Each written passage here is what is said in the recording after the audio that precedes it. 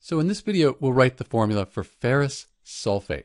So what we need to realize is that this is an older naming system. The new name for this is iron 2 sulfate. But when we see ferrous sulfate, we have the older system. In this OUS here, that OUS, it tells us we're going to use the lower oxidation number, pretty much the charge for this iron here. Iron can be plus 2 or it can be plus 3. But since we have OUS, it's going to be the lower one. Fe plus 2. So we have Fe, that has that plus 2. And then the sulfate, this is just one you need to remember, or if you're allowed to look it up on a table of common polyatomic ions, this is SO4. Its oxidation numbers add up to its charge, so that's the minus 2 there. So since these are the same, this is the formula for ferrous sulfate, FeSO4. The newer name, iron 2, is because of this plus 2 oxidation number. So iron 2 sulfate also known ferrous sulfate.